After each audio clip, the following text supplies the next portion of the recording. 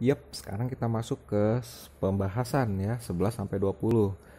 Eh, terima kasih buat teman-teman sudah berpartisipasi untuk ber- eh, berlatih di soal 11 sampai 20. Eh, mudah-mudahan jawabannya sudah benar semua ya. Kalau masih ada yang salah, nggak apa-apa, kita bahas. Nah, buat teman-teman yang belum nggak apa-apa juga, eh, bisa sambil ngikutin aja di video ini. Oke, nomor so- soal nomor 11 kita lihat ya. Eh, di garis bawahi many hibernate, hollows, and under. Kita lihat analisanya seperti apa. Nih, many insects hibernate in the hollows of trees. Ada or. Nah, setelah or-nya di sini, sebelah kiri dan sebelah kanannya itu nggak sama ya. Kalau teman-teman mau analisa dari soal subjek predikat ya boleh sih subjeknya many insects betul ya many tanda banyak insectsnya pakai s jadi nggak salah hibernate predikat predikatnya nggak pakai s berarti juga benar jadi a dan b itu benar nah yang c in the hollows of trees ini pun nggak salah ya. Preposisi of trees nggak salah. Tapi kalau begitu teman-teman lihat ada ada conjunction or sebelah kanan langsung are under. Oke. Nah or di sini men- menghubungkan apa? Menghubungkan ini in the hollows. Ada predikat nggak di sini? In the hollows. Nggak ada kan? Tidak ada predikat. Jadi karena ini nggak ada predikat maka di sini pun nggak boleh ada predikat. Ngapain di sini ada predikat? Oke. Karena or di sini bukan menyambungkan predikat hibernate dengan ini gitu ya kecuali kalau misalnya or ini menyambungkan eh, predikat hibernate dengan yang ada di sini. Tapi ini under piles of leaves ini menerangkan keterangan tempat. Keterangan tempat yang sama dengan keterangan yang ada di sini. Maka sudah benar aja kalau langsung or under piles of leaves maka are di sini salah. Jadi jawabannya yang adalah yang di D yang salah ya.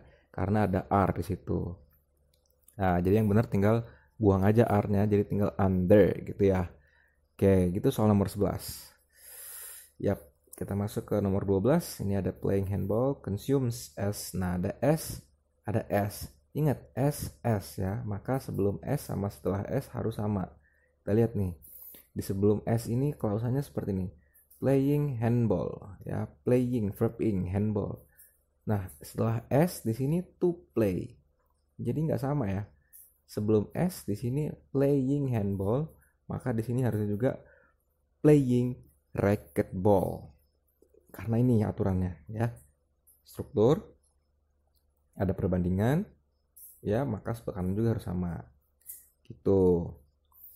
Lanjut ke nomor 13 kita lihat eh, analisanya seperti apa. Subject eh, earliest lamps tidak salah. Shallow tidak salah. Made tidak salah. Made from ya terbuat dari ter- dari pottery or stone. Nah di sini kata benda ya pottery kata benda maka ornya di sini juga eh, merupakan conjunction yang sebelah kanan juga harus kata benda. Stony itu kata, kata dasarnya adalah stone batu ya. Tapi kalau ketika jadi stony dia jadi nggak lagi jadi kata benda tapi jadi jadi kata eh, yang lain jadi kata sifat ya. Maka dia harus berubah menjadi stone. Jadi gitu teman-teman. Jadi nganalisa soal seperti ini eh boleh dengan subjek predikat dulu langkah pertamanya. Setelah itu lihat yang di ABCD nya salah nggak subjek predikat nah kalau nggak salah berarti cari pilihan yang lain. Nah, setelah ngeliat subjek predikat berarti teman-teman harus melihat eh, conjunction conjunctionnya apa conjunctionnya itu eh, setara atau tidak gitu ya. Jadi gitu itu harapannya bisa menghemat waktu buat teman-teman supaya bisa ngerjain soal structure eh soal eh, written expression lebih cepat. Yap, langsung ke nomor 14. Kita lihat ini analisanya seperti apa. Apakah ada ada conjunction conjunction? Ada ya. Ketemu? Iya, ini dia. Neither.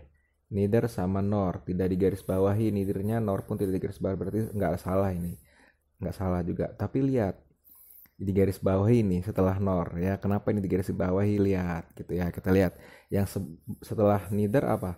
Descended. Bentuknya ed-ed ya bentuknya ed-ed maka setelah nor di sini pun bentuknya harus ed ed nggak boleh bentuknya beda ingat nih abis neither struktur nor struktur. Dan strukturnya harus sama gitu. Jadi gitu ya.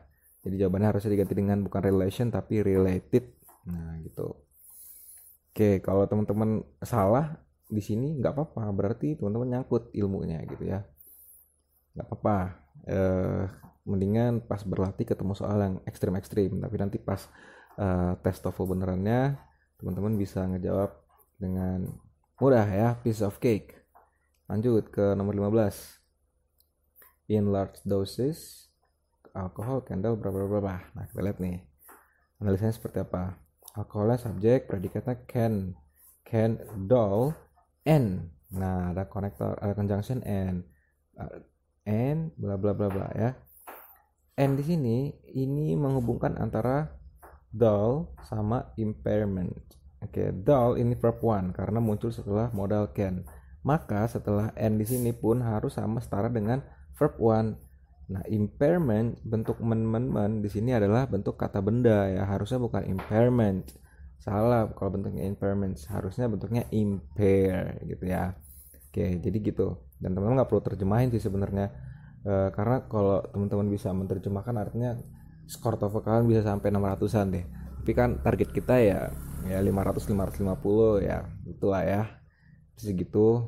Ya, jadi targetnya teman-teman biar kita kan belajar tips and trick supaya bisa uh, dapat skornya lebih cepat skor tingginya. Tapi nanti kalau mau tahu lebih detail nggak ada salahnya untuk belajar grammar lebih dalam lagi.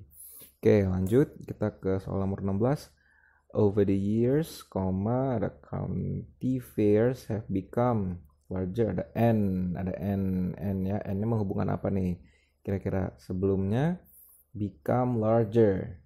Become larger kata kerja ketiga ya become larger. Maka setelahnya pun harus ada bentuk kata kerja ketiga nih harus ada bentuk kata kerja ketiga. Sorry sorry sorry. Uh, bukan become-nya tapi larger-nya ini yang dihubungkan ya. Jadi n menghubungkan larger. Larger ini kata sifat. Lebih besar berarti. Maka di sini harus more more apa gitu. Kan lebih besar. Di sini harus lebih lebih apa di sini nih gitu yang digaris bawahin uh, apa di sini more di sini sudah benar karena dia menyetarakan antara larger ya uh, R nya dari large. Tapi di sini butuh apa yang setara dengan large, yang setara dengan besar.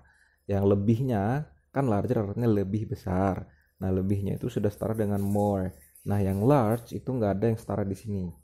Nah, jadi kemungkinan besar jawabannya yang salah adalah yang D ya. Yang D ini salah. Kenapa? Karena yang D tidak mengandung kata sifat.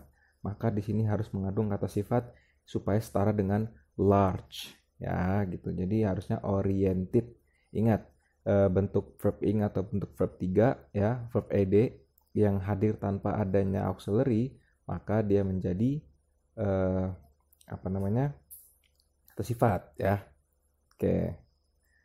Oke lanjut ke nomor 17 ini teman-teman lihat ya subjeknya United States.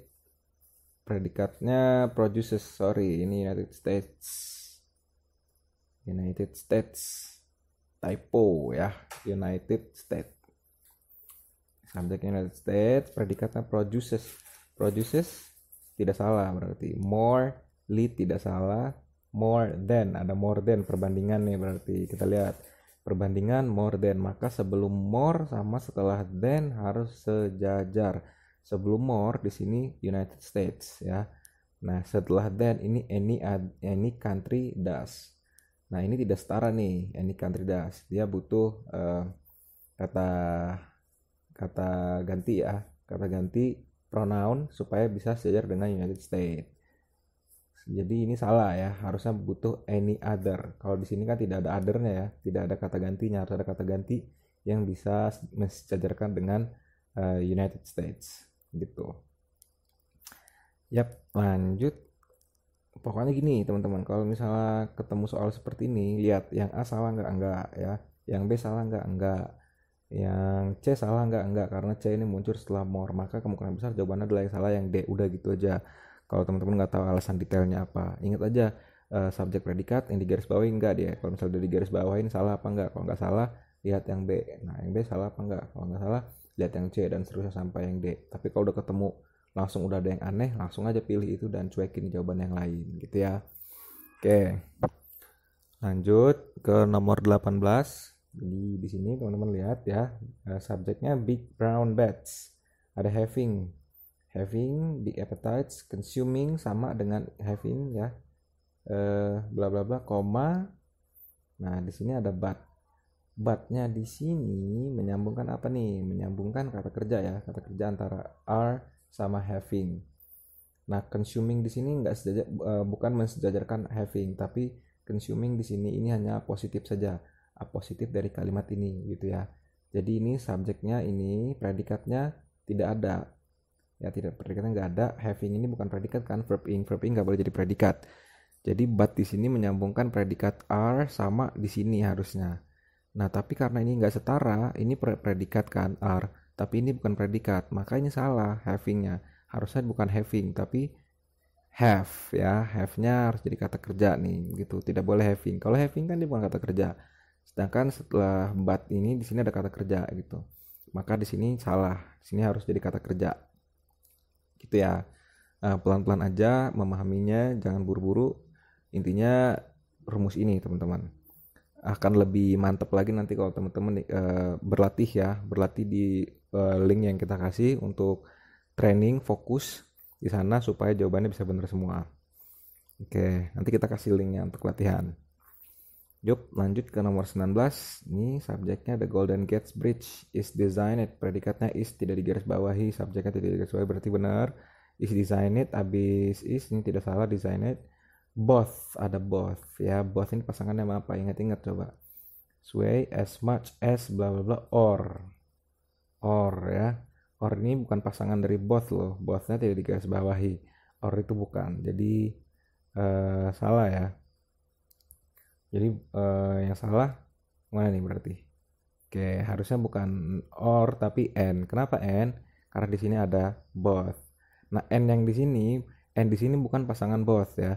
N di sini adalah uh, conjunction yang menghubungkan antara to rise rise and fall gitu ya. Rise and fall gitu jadi and di sini bukan bukan conjunction buat both, tapi conjunction buat both adalah yang ini gitu ya. Oke. Okay. Nah, kenapa? Ketipu ya jawabannya. Nah, nggak apa-apa, teman-teman nanti bisa latihan ya supaya instingnya bisa kebangun. No problem. It's okay. Kita masuk ke nomor 20, soal terakhir. Kita lihat ada T-Rex ya. T-Rex grew to height similar to. Similar to. Similar to ini uh, uh, perbandingan juga ya. Jadi harus seimbang antara sebelum similar sama setelah similar kita lihat nih. Lihat bentuknya di sini ada height ya. Di sini tapi tidak nggak ada height. Di sini ada to a height. Di sini langsung to a giraffe. Ini salah ya harusnya height similar to the height of nah baru gitu. Intinya harus ada height nih di sini. Jadi di sini salah. Kenapa? Karena di sini nggak ada height-nya di sini harus jajar antara sebelum similar sama uh, setelah similar to. Gitu. Jadi jawabannya adalah yang D harusnya dengan the H ya. Oke itu dia teman-teman. Jadi di parallel structure nanti teman-teman harapannya bisa berlatih lebih banyak lagi uh, di soal-soal yang kita kasih. Dan teman-teman bisa uh, latihan di link website kita uh, yang cuma bisa diakses oleh member rumah Inggris ya. Jangan khawatir teman-teman bisa berlatih di sana. Terima kasih udah nonton videonya, mudah-mudahan bermanfaat. Sampai ketemu lagi di skill 8. Thanks for watching and bye.